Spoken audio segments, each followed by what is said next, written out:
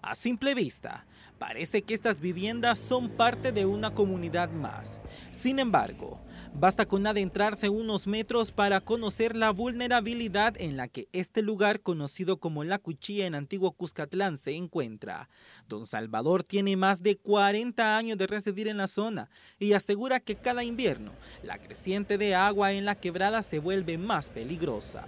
Cuando llueve bastante y esa quebrada sube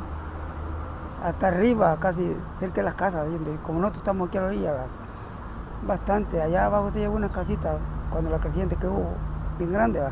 así que siempre cuando llueve, ya llueve bastante, hay este problema, tenemos este problema nosotros que vivimos aquí, porque la quebrada hoy viene subiendo para arriba cada creciente,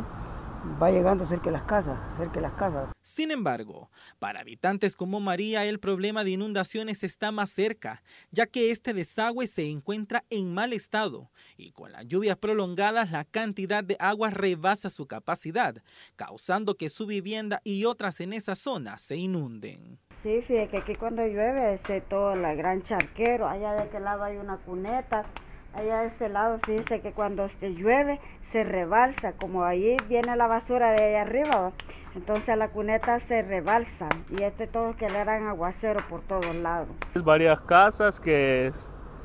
tienen riesgo, pues si algunas se inundan y